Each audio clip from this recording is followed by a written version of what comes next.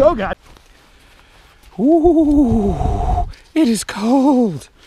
All right, what's up, guys? This is gonna be a quick video about the Hightower LT. Guys, look at this. There's icicles on the ground. There's a snowstorm coming. So I want to get this review going. There she is. I call her Cafe Mocha.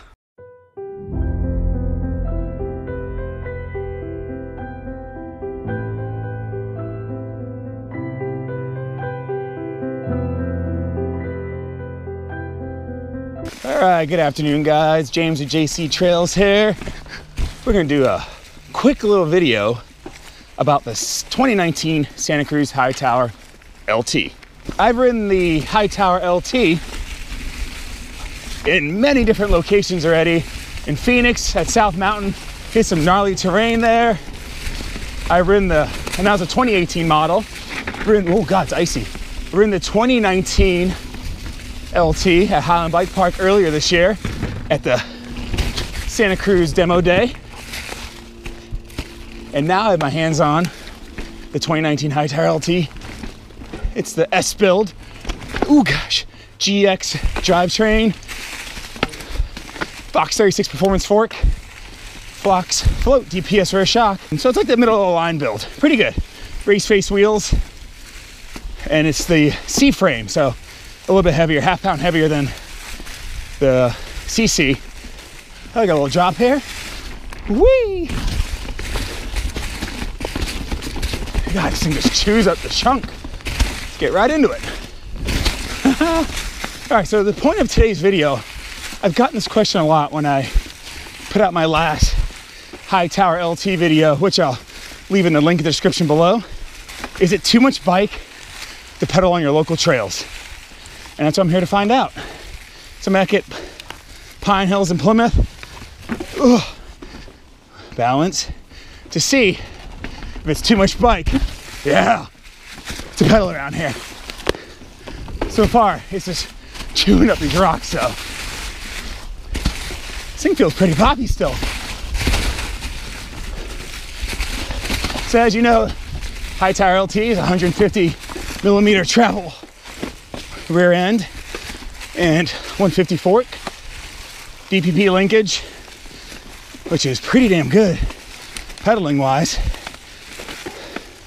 Got the shock wide open in the fork and it's not sucking too much energy out of me.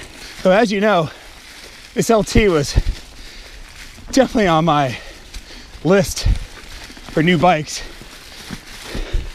But I went with the Stumpjumper short travel. Well, actually I went with a regular Stumpjumper, S-Works. Sold that to get the ST. And then I bought the stuff to make it the long travel again. So that's the bike I went with. And did I make the right decision? Oh, it's slippery with all these leaves down. Put some power down, see how that feels. Smashing some pedals.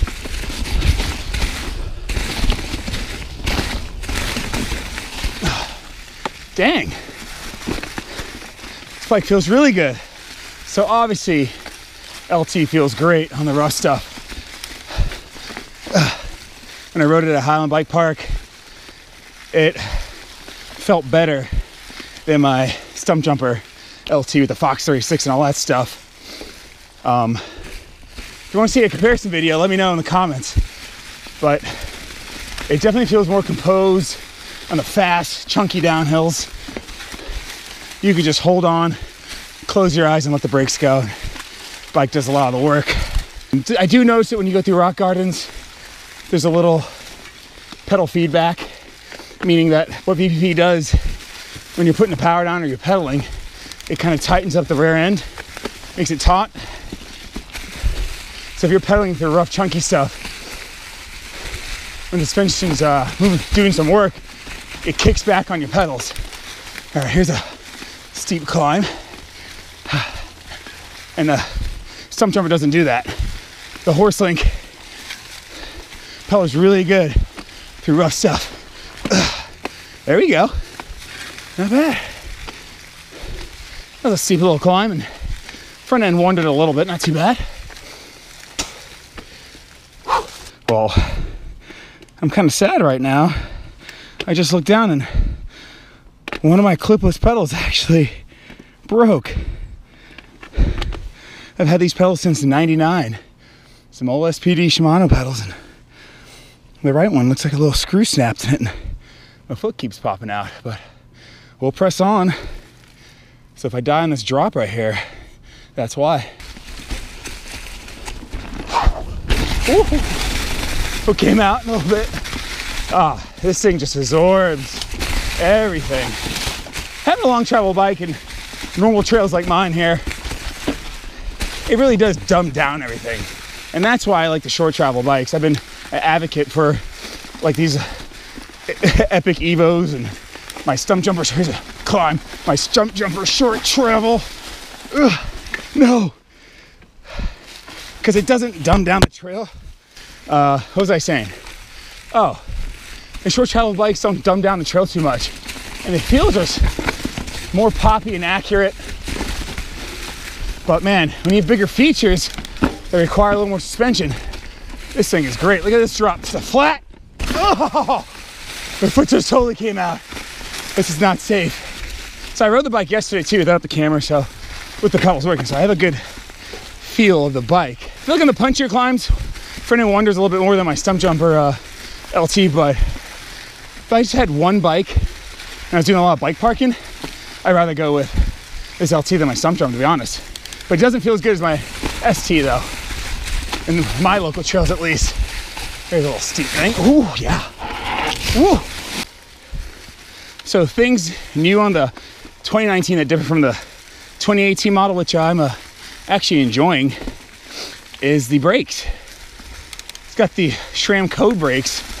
These are like the, I think the lowest level ones, but got great feel. Lots of power, but the actual lever feel is more like Shimano. It's very firm. So it's medium, it's good in the tight turns. Doesn't feel like a big bike to me at all. When I got on the large, uh, it feels big, really big. But it feels good on the downhill having a large. And that roomy cockpit.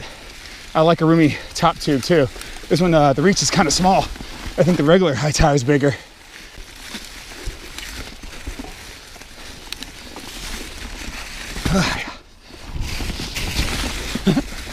oh, that little part. I'm glad I'm trying the size medium though. So for you guys who can't get your hands on a demo of the LT and you're looking at it, um, if you're around 5'9", 5'10", like me, I probably, and you're gonna go to like bike parks or ride a lot of rough terrain, you know, downhill stuff, I'd probably go with the size large. It does feel a little big when you're pedaling trails like this. This medium feels great um, doing this kind of stuff, but just put like a 40 millimeter stem on it and uh, scoot the seat up a little bit to give you that false steep seat tube angle, you know, replicate that feeling, and then you'll be okay.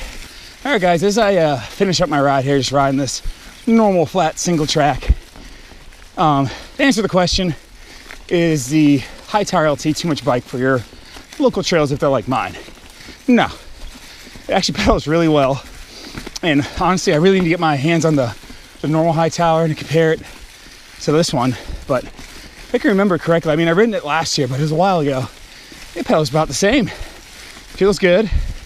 I definitely go with probably the size large if you're gonna race this bike or do a lot of bike parking. Guys, thanks for watching. And make sure you hit that subscribe button if you want to see more content like this, more bike reviews and all stuff mountain biking. And give this video a thumbs up. But I'll see you next time. Peace.